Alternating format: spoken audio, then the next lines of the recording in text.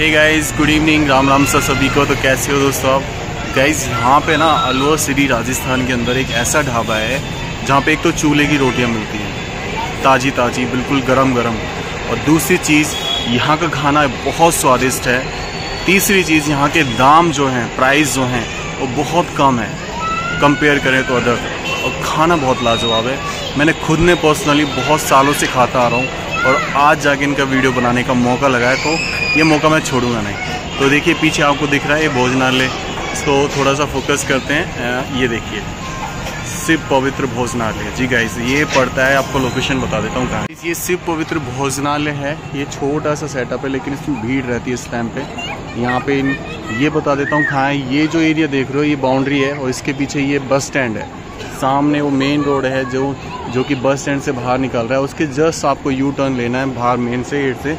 और 100 मीटर की दूरी पर ये है। तो यहाँ पे देखो कितनी, यहाँ पे ये ऑनर हैं जो काम कर रहे हैं खुद, और यहाँ पे गर्मा गर्म जो हैं चूल्हे की रोटियाँ बन रही है। चूल्हे की रोटियाँ बना रहे हो? कितना टाइम से बना रहे हो अंकल जी आप ये? पचपन साल। ये ढाबे को मतलब पचपन साल हो गए। अंकल जी, आपको ये सन याद है? कौन से सन में स्टार्ट किया था आपने?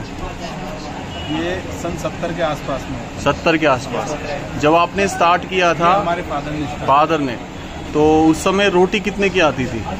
मेरे को असल में उस समय का आइडिया नहीं है। आइडिया नहीं है लेकिन ये है कि पैसों में चला कर कुछ पैसों में। हाँ, मतलब कोई एक रुपए तो बहुत बड़ी बात होगी पेट भर गया एक रुपए में तो पहुँच। तो अभी आपको पचपन लगभग पचपन एक साल हो गए मान ले तो एक तरीके से। तो अभी यहाँ पे रेस्पॉन्स जो है काफ़ी अच्छा भी आ रहा है लोगों की भीड़ भी है। तो ऐसी क्या खास बात है कि जो इन लोगों को यहाँ पे खींच के ले आती है? जो घर से बाहर हैं हाँ। उनको घर जैसा भोजन मिल जाए हम्म। वो कॉन्सेप्ट है अपना तो बिल्कुल एकदम घर जैसा खाना बनाते हैं। प्रयास यही है। तो चूल्हे की रोटी सुबह शुरू से बनती आ रही है आपको? हाँ शुरू से एक ही ट्रेंड है। चूल्हे की। चपाती। तो चलिए गए अंकल जी पूछता हूँ मैं इन लोगों से जी, जी, कि कैसा है। और मैं भी खा के देखता हूँ। तो यहाँ पे ये भैया है। भैया आप ये खाना कब से खा रहे हो? मेरे को पिछले दो साल हो गए दो साल हो गए। और यहाँ पे आ रहे हो कैसा लगता है इनका खाना? घर जैसा है। घर जैसा। और जो दाम है इनके प्राइस है वो कैसे हैं? है। रीजनेबल है एकदम सही प्राइस है। तो ये भैया हैं। भैया कितने टाइम अपना कितनी बार खाना खा चुके हैं यहाँ पे? सर लगभग यहाँ दस बार आ चुका हूँ अलवर के अंदर अच्छा। हरियाणा से हूँ भिवाड़ी से। अच्छा। और अलवर में मैंने इधर उधर का भी खाया फ़र्स्ट टाइम लेकिन यहाँ मैं दस दस दफे खा रहा हूँ। अच्छा। मज़ा आ रहा है। से भी ज़्यादा स्वाद आ रहा है इस खाने का। अच्छा और दाम प्राइस कैसे हैं यहाँ के मतलब जो पैसे हैं रीजनेबल हैं कम ज़्यादा कैसे हैं? मेरे हिसाब से हाँ। पूरे अलवर में हाँ। काफ़ी काफ़ी हद तक हर आदमी आराम से अरेंज कर सकता है कोई भी पैसा नाजायज नहीं। है बिल्कुल एकदम जायज़ पैसा है। बिल्कुल जायज़ है और आप खा के देखिए खाना। अच्छा। आप भूल जाओगे अब कभी आपने गाँव का खाना खाया बिल्कुल बिल्कुल। इंजॉय करिए भैया आपका खाना।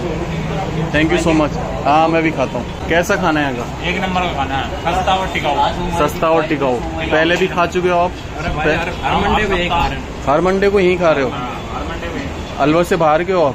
गाँव तो मतलब घर जैसा खाना है या बिल्कुल होटल जैसा है? घर जैसा घर जैसा। खाना। और दाम जो प्राइस है यहाँ के वो हाँ, कैसे? रीजनेबल रीजनेबल जायज़ है बिल्कुल।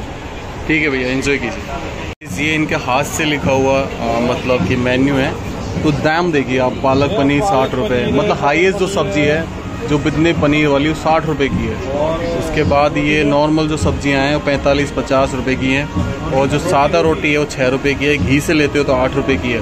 पापड़ दस रुपये के, छाछ पंद्रह की और दही जो है यहाँ पर फुल और हाफ़ के रेट लिखे हुए तीस और पंद्रह। तो अपन आज क्या ऑर्डर करें? एक तो अपन मिक्स वेज ऑर्डर करते हैं यहाँ की। रही पचास रुपये की मिक्स वेज ले लेते हैं। ठीक है?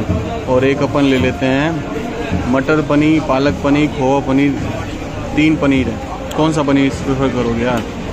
अरे खोवा पनीर नहीं खाया, कभी खोवा पनीर खाते एक खोवा पनीर। देखिए, ये है हमारी थाली।